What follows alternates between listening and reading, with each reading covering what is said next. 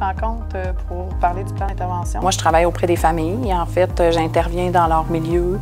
Quand je vais dans les familles, on jase de toutes sortes de choses. Il y a des idées qui me viennent en tête euh, pour mieux les aider puis les supporter, dans le fond, dans leurs difficultés. Tantôt, vous disiez que c'était plus difficile. D'aider les enfants, puis d'aider les familles, puis de voir les petits pas qui sont faits à chaque jour pour justement que ça avance. Donc, c'est très intéressant.